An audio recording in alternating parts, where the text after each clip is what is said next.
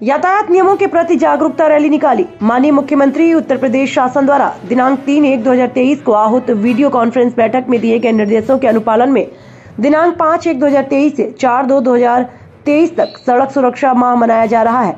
इसका उद्देश्य जन सामान्य में सड़क सुरक्षा एवं यातायात नियमों के प्रति जागरूकता उत्पन्न करते हुए सड़क दुर्घटनाओं में कमी लाया जाना। इसी क्रम में डीएम अलीगढ़ श्री इंद्र विक्रम सिंह के निर्देश पर दिनांक 17 एक 2023 को गांधी पार्क चौराहे पर एनसीसी कैंडिडेट्स द्वारा पैम्पलेट व बैनर देकर सड़क सुरक्षा स्लोगन के साथ मार्ग पर आने जाने वाले वाहनों, आमजनों एवं दुपहिया और चार पहिया वाहन चालकों को सड़क सुरक्षा के दृष्टिगत मार्ग चलते समय सावधानी बरतने के लिए जागरूक किया। इस कार्यवाही का असर तत्काल ही देखने को मिला। इससे आने जाने वाले काफ़ी लोग प्रभावित हुए और एक सज्जन श्री आलोक कुमार इस कार्यक्रम में तत्काल के बाद आईएसआई 4151 मानक का हेलमेट खरीद कर लाए। और स्वयं उसे लगाकर उसकी बेल्ट बांधते हुए दिखाया। इस जागरूकता कार्यवाही में स्वयं बहुत प्रभावित हुआ।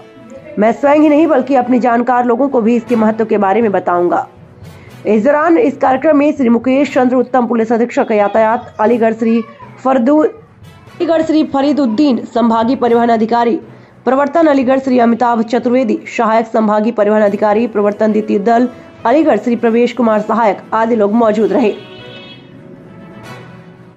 वहीं इस कार्यक्रम में श्री हीरा हीरालाल बारह सैनी इंटर कॉलेज के कैप्टन श्री अरुण कुमार के नेतृत्व में एनसीसी के छात्रों ने प्रतिभाग किया। यह कार्यक्रम इसी तरह निरंतर जारी रहेगा।